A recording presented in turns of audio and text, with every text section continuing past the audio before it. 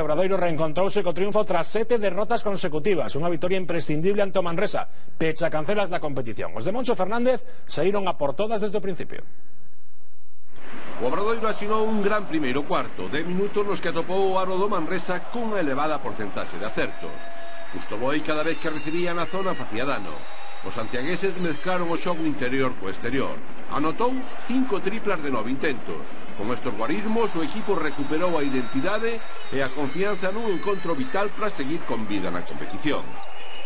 Unha recuperación de Santi Justa con posterior mate puxo o Brodoiro 10 arriba no inicio do segundo cuarto. A partir de aí o equipo sufriu un colapso. Manresa chegou a colocarse a un punto, 38-37, a tres minutos para o descanso, para de seguido encaixar un parcial de 11-0. O clan lituano que vive no Sar devolveu a tranquilidade á parroquia Pairo ao descanso con 12 puntos de vantaxe. No segundo tempo, os cataláns intentaron volver ao partido, pero o seu plantel é limitado.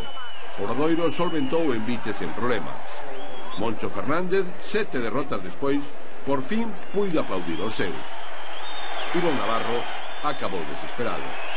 Son as caras da vitoria e da derrota.